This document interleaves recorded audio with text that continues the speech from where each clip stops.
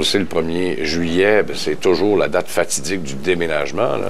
Mais euh, pour ceux et celles qui voudront faire l'acquisition d'une euh, nouvelle demeure ou tout simplement vendre la sienne pour en acquérir une autre euh, d'ici ce temps-là, c'est peut-être le temps de commencer à y parler.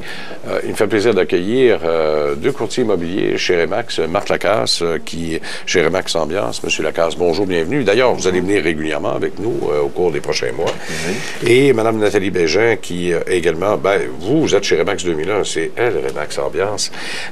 Nathalie Bégin qui est avec nous. Peut-être, Monsieur Lacasse, pourquoi il y a eu cette institution du 1er juillet? Qui a été instaurée chez nous au Québec. On est la seule province qui fait ça. Hein? Non seulement la seule province, mais c'est même un phénomène qui est unique au monde. Ah oui. Alors, j'ai fait quelques recherches et puis euh, ce qui s'est passé, ça, ça fait environ 35 ans, un peu plus de 35 ans qu'on a le phénomène du 1er juillet. Au départ, avant 1975, la date de la fin des baux était dictée par le gouvernement au 1er mai. Mhm. Alors, on n'avait pas de flexibilité. Et en 1975, ben, l'Assemblée nationale a changé le Code civil, a créé la Régie du logement et a dit, dorénavant, les propriétaires, vous pouvez déroger du 1er mai et vous pouvez donc choisir la date de la fin du bail. Ce qui s'est produit, c'est qu'ils ont dit, bon, ben, pour cette année, en 75, on va, on va faire une mesure transitoire et on va emmener les baux au 30 juin. Et en faisant ça, bien, les gens se sont retrouvés avec une date au 1er juillet et ont réalisé qu'il y avait des avantages intéressants, dont pas être obligé de changer les enfants d'école en plein mhm. milieu de l'année scolaire ou en fin d'année scolaire et euh, déménager l'été aussi quand c'est encore euh, la température est encore plus propice. Alors mhm. c'est ce qui a amené ce phénomène-là qui perdure en fait depuis toutes ces années. Bon, alors comme je le disais d'entrée de jeu, 1er juillet, ça semble loin pour l'instant parce qu'il fait très froid. Hein, on, a hâte à la chaleur.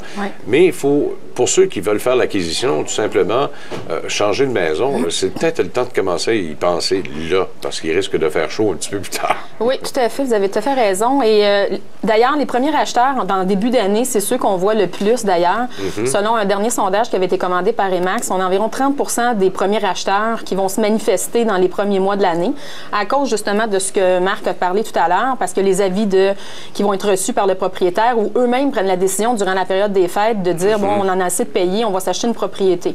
Alors, il y a un gros bassin de propriétés qui vont être vendus là et c'est le moment pour le faire, en fait, pour avoir un bon choix. Bon, les statistiques sont tous dans le même sens. Ça ralentit dans le secteur immobilier, c'est clair. Mhm. Sauf qu'il y a peut-être eu un coup de pouce de la Banque du Canada cette semaine qui disait, bon, ben là, euh, on ne pousse pas au calendrier grec, mais on, va repousser encore longtemps les hausses de taux d'intérêt. Est-ce que ça, c'est de nature, justement, à rassurer les premiers acheteurs qui ont disparu un petit peu de la, circulation. Oui, mais je vous, euh, je, vous, je vous, donne une nouvelle en exclusivité. En fait, on ne les a pas vus dans les trois derniers mois de l'année dernière, mais là, sur le terrain, ils sont revenus. Et cette mesure-là, d'ailleurs, qui a été faite, naturellement, ça, ça aide énormément le marché et ça a fait du bien parce qu'il était craintif au niveau de, de, toutes les conditions, les nouvelles conditions que le ministre Farity a faites, d'ailleurs, pour resserrer les critères. Alors, mais là, ils sont de retour et ils viennent nous voir dans les bureaux, tous les courtiers immobiliers. Et c'est bien, d'ailleurs, d'aller voir son courtier présentement pour aller s'asseoir avec lui le plus rapidement possible. Bon, le fait qu'on ait resserré les conditions de crédit hypothécaire, ça, ça avait fait peur à bien des gens, particulièrement les premiers acheteurs.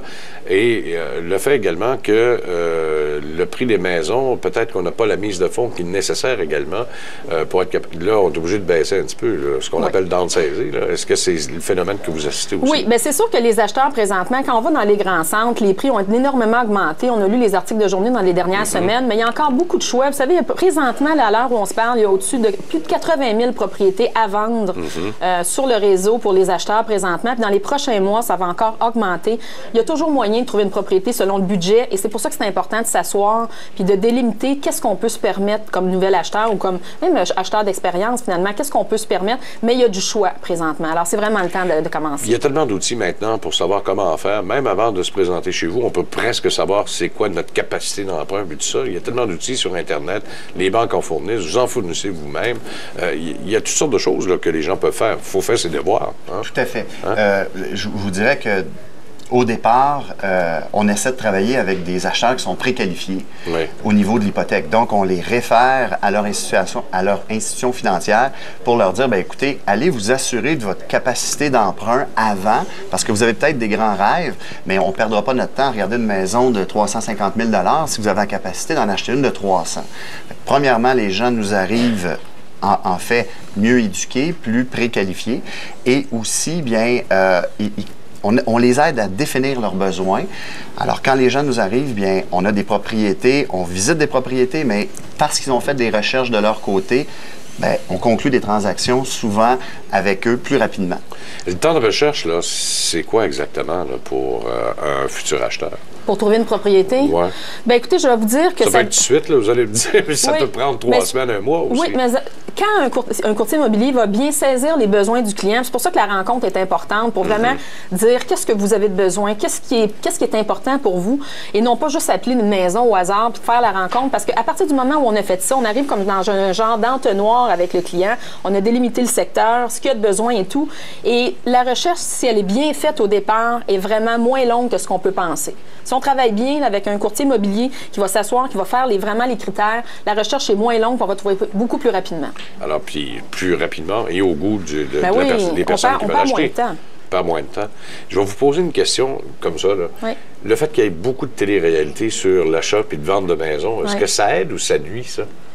Ben, je vous dirais que non, ça nuit pas. Au contraire, c'est que ça peut montrer, savez-vous quoi, je pense que c'est bon parce que le client qui se cherche un courtier immobilier, ben il va pouvoir avoir une attente à qu'est-ce qu'il doit s'attendre justement du travail du courtier. Mhm. Alors, s'il en rencontre un qui va pas faire un peu ce qu'il nous a montré dans les émissions, mais ben, ça va lui donner une chance peut-être d'en trouver un à ce moment-là qui va être à l'aise de travailler avec lui. Oui, parce que c'est important. C'est une relation de confiance avec votre client.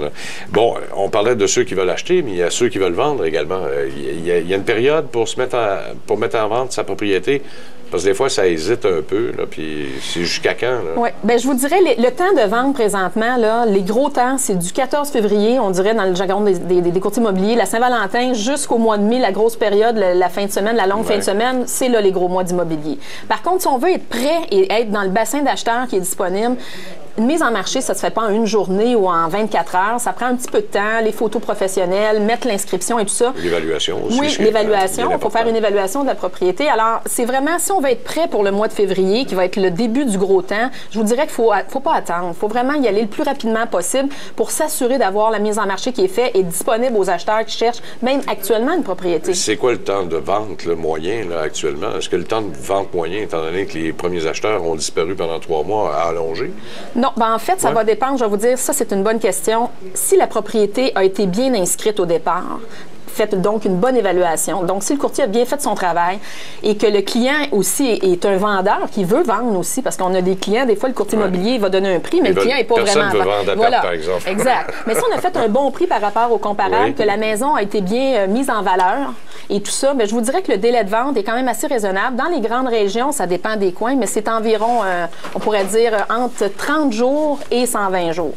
Ben, c'est pas pire. Oui. Hein? C'est quand même pas mal. Oui. Ben, merci beaucoup, Nathalie Bégin. Ça fait plaisir. Hein? Puis Marc Lacasse, on retrouve le mois prochain. Hein? Avec plaisir. On fait une pause, on revient dans un instant tout de suite.